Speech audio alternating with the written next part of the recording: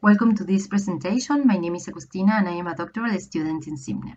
Today, I will share with you an application for the automatic generation of braided stent, which has been developed in GiD. The research group, led by Eduardo Soudah and Joaquin Hernandez, is currently collaborating with a local company called Anaconda Biomed, who is developing a new generation of catheters for the treatment of strokes. This new device is comprised of two coaxial catheters and a clot mobilizer. The delivery catheter allows to reach the damaged neurovascular area, while the funnel allows to block the blood flow for combining the aspiration technique with the clot mobilizer. The funnel is a braided tubular structure with a thin layer of silicone, as you can see in the video. In this slide, we can see how the device should extract the thrombus, applying both techniques at the same time.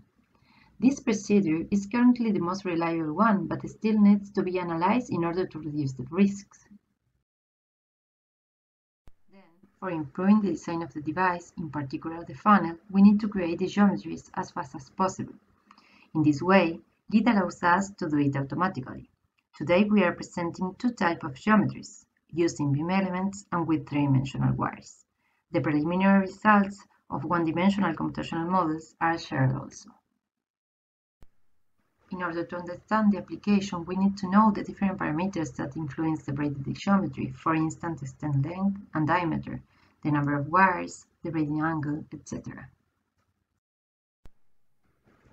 As you can see in the application, we have a set of parameters that we can change. We are showing a stent with different number of wires and with different braiding angle. As mentioned in the previous slide, you can also change the diameter and stent length and the geometry immediately changes.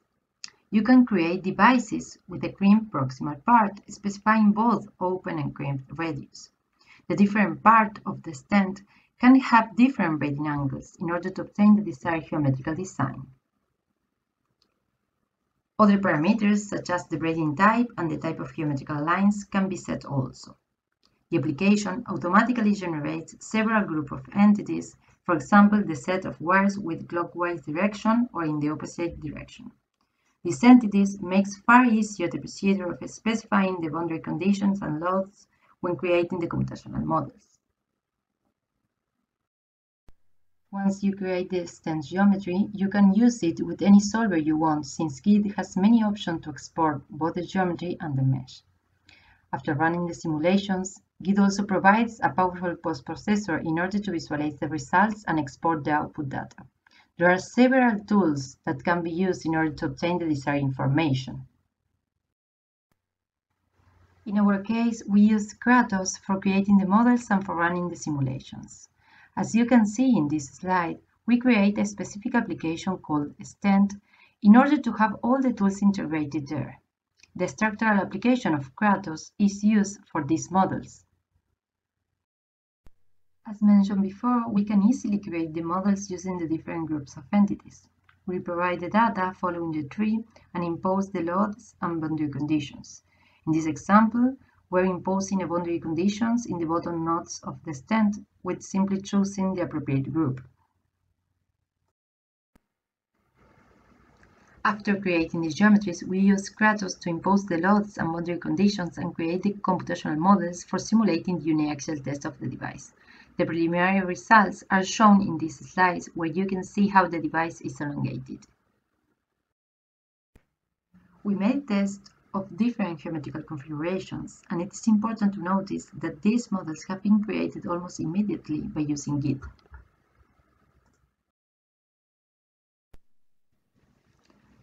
GiD allowed us also to create the three-dimensional geometry of the braided wires, Using as path lines the one-dimensional models and performing sweep operations, we could obtain the three-dimensional model of a unit cell of the structure. We used different layers for creating the wires and the silicon.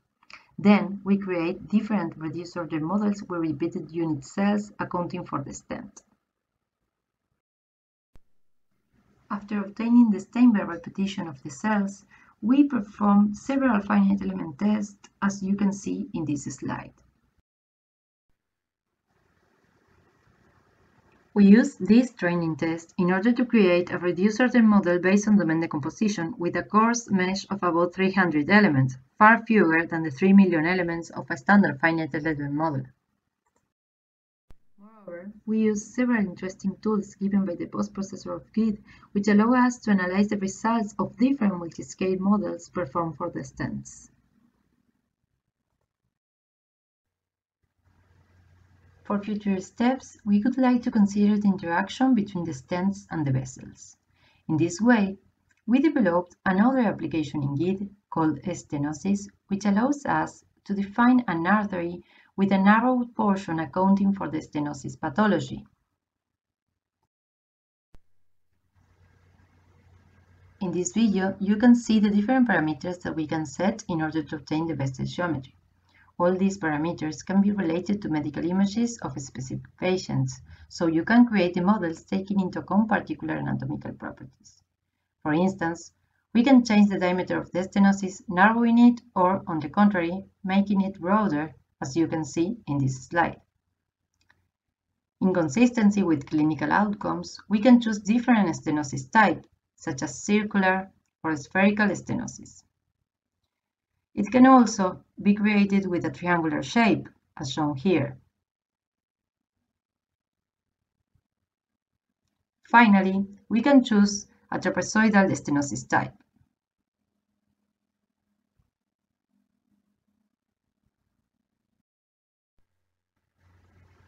Here we have all the stenosis options integrated in the application, one of them symmetric and the other non-symmetrics.